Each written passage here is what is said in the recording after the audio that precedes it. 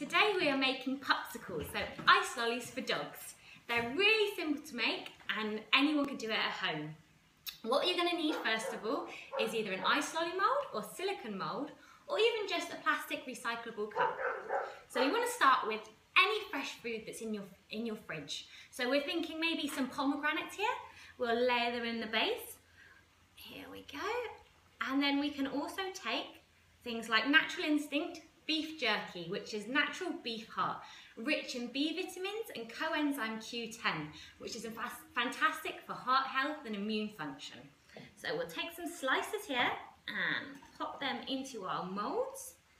We can layer them up so we can create nice lolly layers as we go. There we go.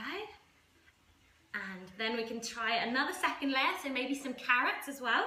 So we can slice up some carrots and into our moulds.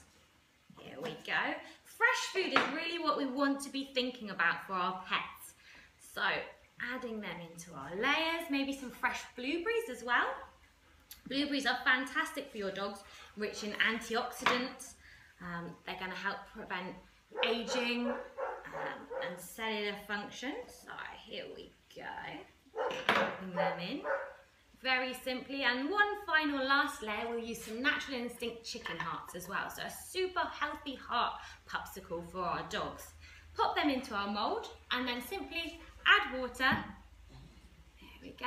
And into the freezer they go. And